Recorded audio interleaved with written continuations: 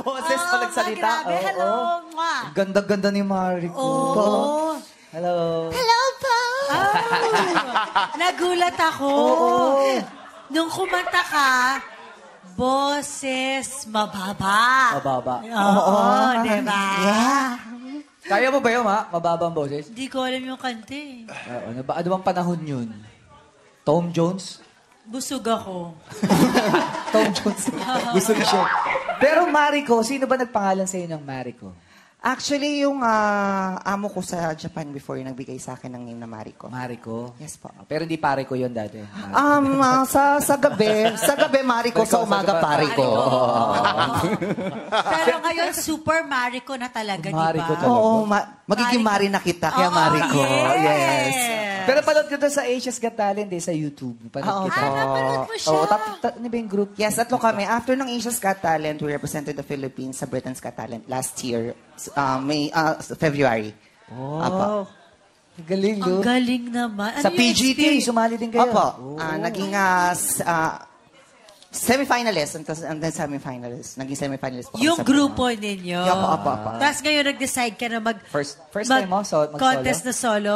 Actually, ano lang, may parang, ah, why don't give it a try? Kumbaga parang kasi ang tagal ko pong hindi kumanta ng solo. Yes. Dahil nasa comfort zone ako ng grupo ko. Yes. Siguro mga three decades po akong hindi kumanta ng solo. Wow, grabe. Pero okay pa rin yung grupo nyo. Okay pa Opo, rin. until now po, intact pa rin po kami. Ah, batiin natin sila. Batiin. Hello mga mga bebe ko, yung mga bunsong kapatid ko yan. Kasi ako yung ate nila. Yes. Oo. Ano yung name ulit ng grupo nyo? Mistress. Ayan, si. Chrissy at si Maria lang ang aking ah, mga kasama. Wow. Ah, si Maria, ikaw, Yes, yes, si kaya Maria. nga eh. Yeah. Ang galing. Pero, pero, pero, ito, naguguluhan kami ni Mariel eh. Single ka, but not Avail- available. ano ibig sabihin nun? Paano yun? Ay. Ah, meron akong, ah, kumbaga parang ah, may, may laman yung... May kumukontra Hindi, sa'yo, di ba? ah, hindi, single po. Three years na po ako single. Oh.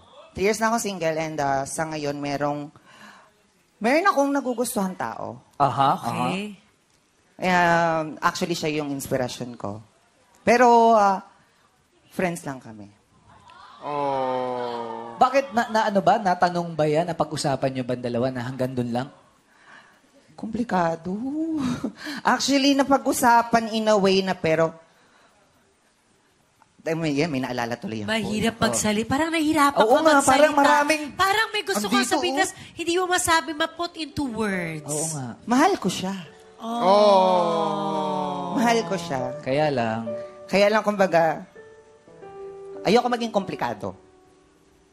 Kung, gusto, kung, kung, ano, kung, kung magiging kami, gusto ko manggaling sa kanya, hindi sa akin. Oh. Oh. Wait, alam ba niya?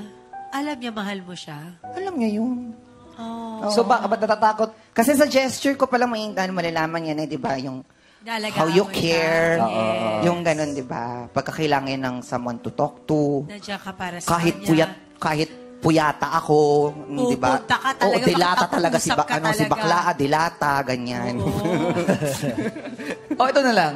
Anong gusto mong mensahe sa kanya? Baka nanon so, I'm sure nanonood siya. Ah, ano, ano lang.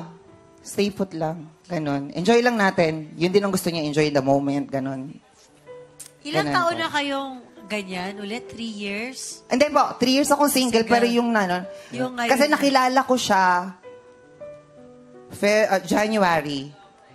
Yun yung nasa depression moment ako. Ah. Depressed, na depressed at depressed ako ng January. Tapos, kumbaga, siya yung naging source of strength Siya naman ko. yung nandun para sa'yo. Oo, siya yung nandun ka. Yes, siya yung naging ah, cause ng pagngiti ko ulit, naging inspire ulit ako, nag, nag, naging inspired ako sa lahat ng bagay, sa work, sa lahat ng bagay, ultimo sa sa paglaban sa ma- sa depression.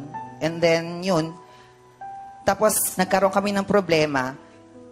Bumalik yung depression ko nadagdagan dahil pa sa kanya.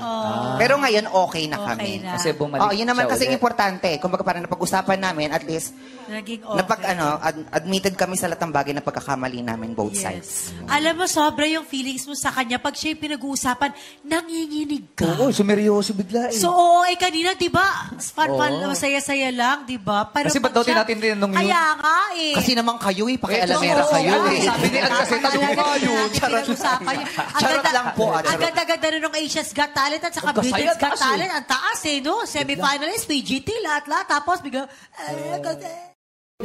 Thank you for watching Tawag ng Tanghalan. For more updates, subscribe to ABS-CBN Entertainment YouTube channel and click the I button. Tawag ng tanghalan sa show!